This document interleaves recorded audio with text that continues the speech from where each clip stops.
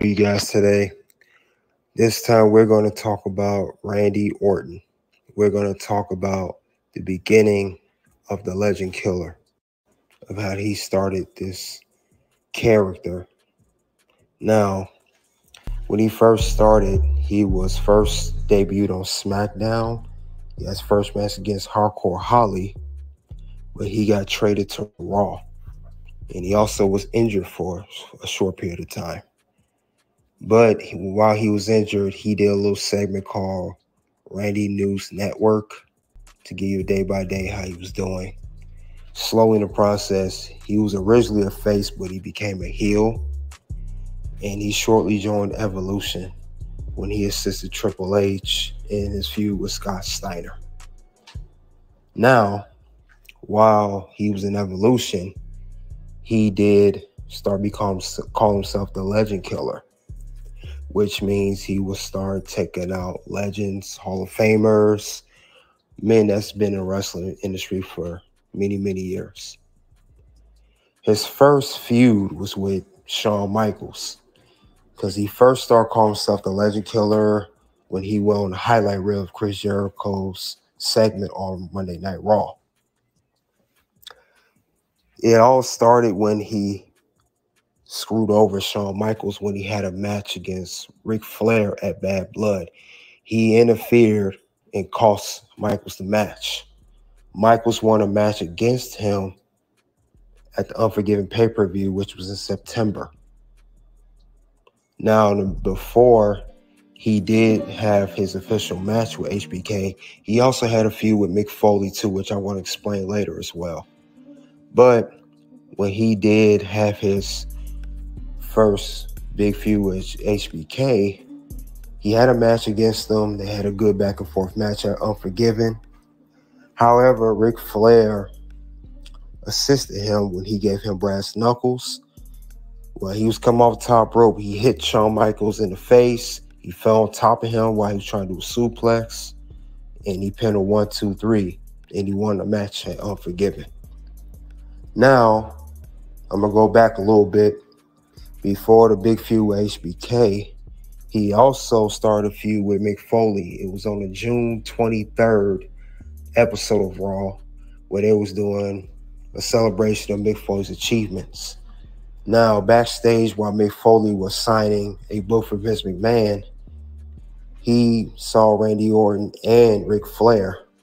And first, Randy Orton saw that Ric Flair and Mick Foley had choice of words.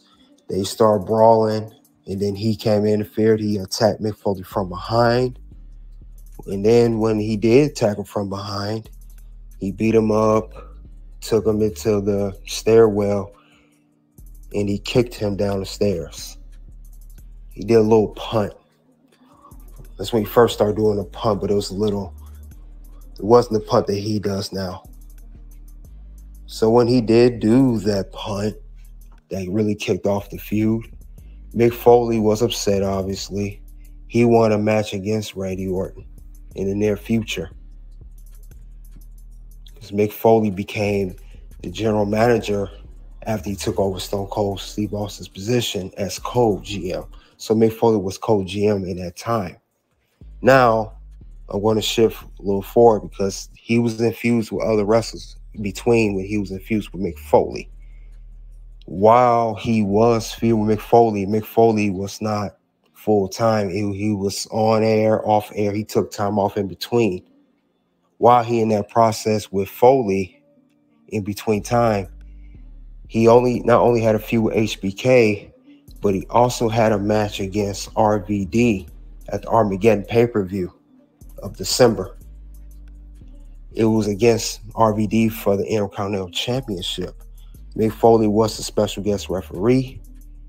He defeated RVD with RKO, and he became the Intercontinental Champion, his first championship in WWE. So that was a big achievement for Randy Orton. Now, after he won that championship, him and Mick Foley again, he wanted to challenge Randy Orton for that Intercontinental Championship later on on an episode of Raw. But he walked out. So that match never happened. That's when he spat his face, called him a coward. However, they met each other again at the Royal Rumble next year of 2004. Mick Foley eliminated Randy Orton in the Rumble. He eliminated himself. They were brawling each other back back and forth down the ramp and backstage. Randy Orton hit him with a chair. Now this led to Evolution, which is Batista and Ric Flair. While Triple H focused on the World Heavyweight Championship, they got into their feud and they were they were beating up Mick Foley. It was beating him up backstage. It was one segment where Batista power bombed Mick Foley through a table. And he was outnumbered at that point. And that's when Mick Foley called The Rock. He returned. They reunited the Rock and Sock Connection. They had a three on two handicap match at WrestleMania 20. However, they they lost the match against Evolution. where Randy Orton hit the RKO on Mick Foley, pinned a one, two, three. The next pay-per-view was at Backlash, which is they made was the major match for the Intercontinental Championship. Mick Foley wanted to face him in um, a hardcore fight where they use any weapons, mostly the barbed wire steel, barbed wire bat, which Mick Foley called Barbie. And however, Evolution was banned from ringside, and they had an epic match where it was lots of blood, lots of good spots. Randy Orton tried to do the RKO. He felt thumbtacks. Very iconic match. It was Randy Orton's coming of age match, pretty much. So that was a good feud between them. And after he defeated him at Backlash, that was the end of that feud. So at this point, he had defeated a couple legends. He called himself the Legend Killer. And now at this point, this is early mid 2004. So he was still Intercontinental Champion. He had a couple title defenses. He defeated Shelton Benjamin. He had a match against him, but he lost the Intercontinental Championship in Vengeance against Edge in July. Now, at that point, he had the Intercontinental Championship for 210 days, which is the longest reign for the Intercontinental Championship in a long time in the past seven years. So he had a very good title run with that belt. And after that feud with Edge was going on, he feuded with him a little bit. He didn't regain an Intercontinental Championship.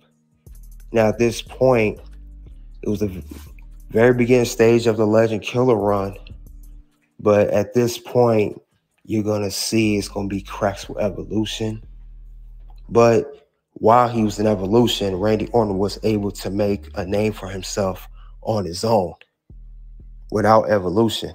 So that's why I liked about the match with Backlash. He did he won the match clean. He, like I said, was no evolution allowed. There was no interference, no anything. He won it straight up clean.